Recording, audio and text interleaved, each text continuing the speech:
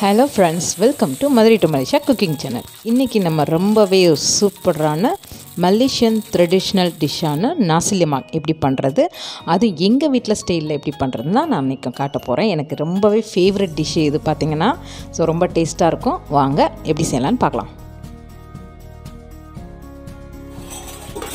First வந்து நம்ம rice cook பண்ணிக்கலாம். சாதம் ரெடி பண்ணிக்கலாம்.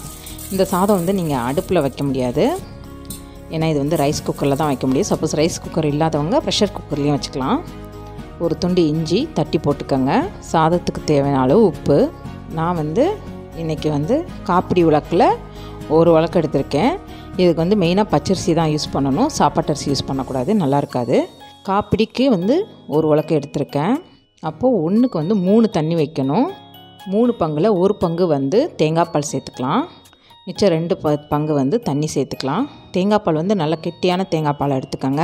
சாதம் வந்து ரொம்ப குழஞ்சிடக்கூடாது டேஸ்ட் இல்லாமல் போயிடும் பாருங்கள் இப்போ ஒன்றுக்கு மூணு பங்கு தண்ணி சேர்த்தாச்சு.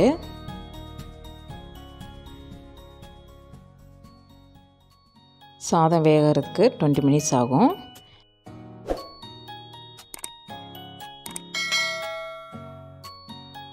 இது பார்த்திங்கன்னா இதுக்கு பேர் பாண்டாங் எசன்ஸு.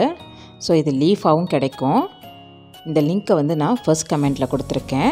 நீங்கள் அதை கிளிக் பண்ணி பார்த்துட்டு ஆர்டர் பண்ணிங்கன்னா கிடச்சிரும். இப்போ வந்து சாதம் வேகிறதுக்கு தேர்ட்டி மினிட்ஸ் ஆகும். ஸோ நம்ம சாதம் வேகிறதுக்குள்ளாட மற்ற டிஷ்ஷெல்லாம் நம்ம ரெடி பண்ணிடலாம் பாருங்கள் குக்கிங் பண்ணியாச்சு. ஃபஸ்ட்டு வந்து நம்ம கோழி சம்பால் ரெடி பண்ணிக்கலாம். கொஞ்சமாக ஆயில் விட்டுக்கலாம். கோழியை வந்து லைட்டாக மஞ்சள் பொடியும் சும்மா ஒரு அரை உப்பு போட்டு பொரிச்சு எடுத்துக்கலாம். பொரிச்சு எடுத்துகிட்டு அதுக்கப்புறம் தான் நம்ம கிரேவியாக பண்ண போகிறோம் இதை கிரேவின்னு சொல்ல மாட்டாங்க. கோழி சம்பால் தான் சொல்லுவாங்க. இது வந்து அந்த நாட்டோட மலாய்க்காரவங்களோட டிஷ்ஷு ரொம்ப ட்ரெடிஷ்னலாக பண்ணுவாங்க. ஸோ ரொம்ப டேஸ்ட்டாக இருக்கும். மோஸ்ட்லி இதை எல்லா வீட்லேயுமே பண்ணுவாங்க. எனக்கு ரொம்ப ஃபேவரட் இது. கோழியை வந்து ரொம்ப பொறிக்கணும்னு இல்லை. இந்த அளவுக்கு பொரிச்சா போதும்.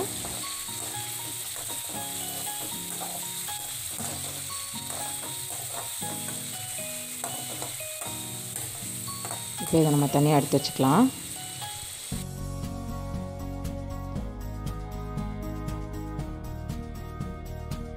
இப்போது அதே எண்ணெயில் ரெண்டு பட்டை ரெண்டு ஏலக்காய். நான் வந்து ஆனியனை வந்து நல்லா பேஸ்ட் மாதிரி அரைச்சி வச்சுருக்கேன். நீங்கள் சின்ன வெங்காயமும் யூஸ் பண்ணிக்கலாம் இல்லை பெரிய வெங்காயம் யூஸ் பண்ணிக்கலாம். எதையுமே நறுக்கி போடாமல் இந்த மாதிரி நல்லா அரைச்சிக்கோங்க.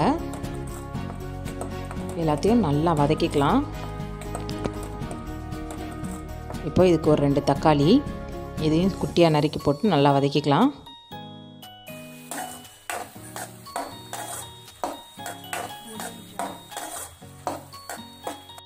இப்போது கொஞ்சமாக இஞ்சி பூண்டு பேஸ்ட்டு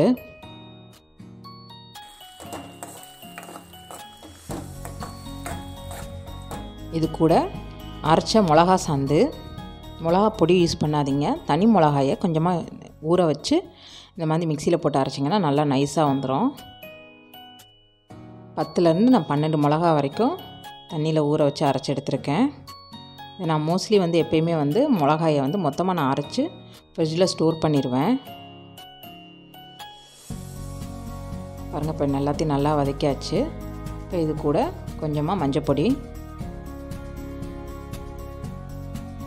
எல்லாத்தையும் ஒன்றா சேர்த்து நல்லா வதக்கிக்கலாம். இப்போ இதுக்கு ரெண்டு டேபிள் ஸ்பூன் ஜீனி சேர்த்துக்கலாம். சர்க்கரை சேர்த்தா தான் இந்த கோழி சம்பல் ரொம்ப ருசியாக இருக்கும்.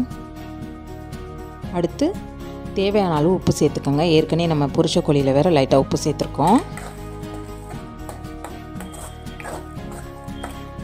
இப்போ எல்லாத்தையும் போட்டு நல்லா வதக்கிக்கலாம்.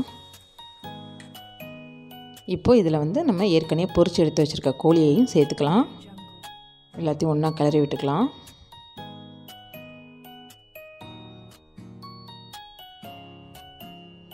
இதை நீங்கள் வந்து லஞ்சுக்கு செய்கிறத விட நைட் டின்னரில் செஞ்சு வச்சு சாப்பிட்டிங்கன்னா ரொம்ப நல்லாயிருக்கும்.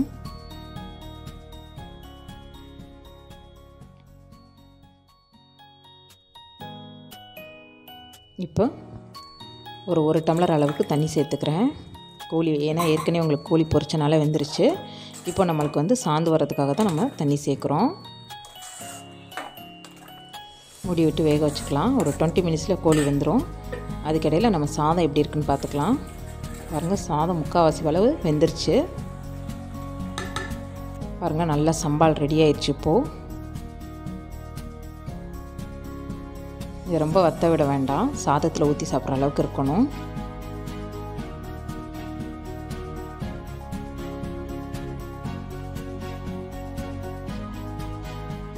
இப்போ இதுக்கடையில் நம்ம வந்து வெள்ளரிக்காயை சீவி எடுத்துக்கலாம். வெள்ளரிக்காயை வச்சு நம்ம எதுவும் பண்ண போகிறதில்ல நார்மலாக கட் பண்ணி வச்சு தான் சாப்பிட போகிறோம் இந்த மாதிரி ரவுண்ட் ரவுண்டாக கட் பண்ணிக்கோங்க.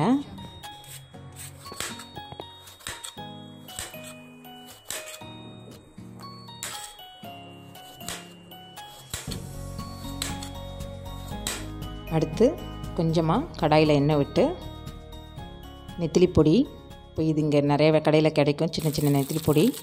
இதை வாங்கி வெறுமனை கழுவிட்டு பொறிச்சிக்கலாம் இதில் எதுவும் சேர்க்கணுன்னு அவசியம் இல்லை. நான் யூஸ் பண்ணுறது வந்து மலேசியன் நெத்திலி பொடி. மலேசியாவில் பார்த்திங்கன்னா நெத்திலி பொடி வந்து அதிகம் கிடைக்கும். நாங்கள் இது இல்லாமல் இருக்கவே மாட்டாங்க.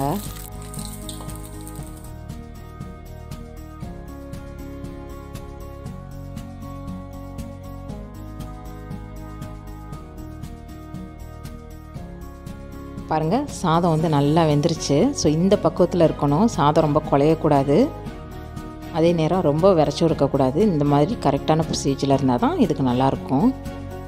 நல்லா கிளறி விட்டுக்கலாம். பாருங்கள் சாதம் இந்த மாதிரி இருக்கணும்.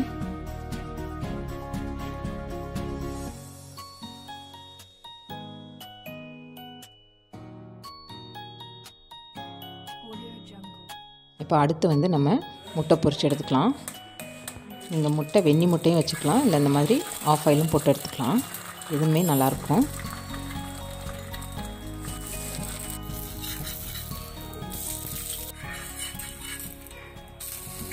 பாருங்கள் இப்போ எல்லாமே ரெடி ஆயிடுச்சு இதை எப்படி சர்வ் பண்ணுறதுன்னு சொல்கிறேன் இந்த மாதிரி நம்ம செஞ்ச எல்லா ஐட்டமும் ரைஸை வச்சு சுற்றி வர வச்சுட்டு இதை சாப்பிட்டிங்கன்னா ரொம்ப டேஸ்ட்டாக இருக்கும். நிலக்கடலை பருப்பு நான் கடையில் தான் வாங்கி வச்சுருக்கேன். அவ்வளோதான் ஃப்ரெண்ட்ஸ் ரொம்பவே ஈஸியான மலேசியன் ட்ரெடிஷ்னல் நாசிலிமா ரெடி ஆயிடுச்சு இது எங்கள் வீட்டில் ஸ்டைலில் பண்ணுற நாசிலிமா ஸோ நீங்கள் வீட்டில் கண்டிப்பாக பண்ணி பாருங்கள் அடுத்தவங்கள ஒரு சூப்பரான ரெசிபியில் சந்திக்கிறேன். லைக் பண்ணுங்க ஷேர் பண்ணுங்க சப்ஸ்கிரைப் பண்ணுங்க. பெல் ஐகான் கிளிக் பண்ணுங்க. எங்க அம்மா சமையல வீட்டுல நீங்களும் செஞ்சு பாருங்க. எங்களுக்கு கமெண்ட் பண்ணுங்க. பாய்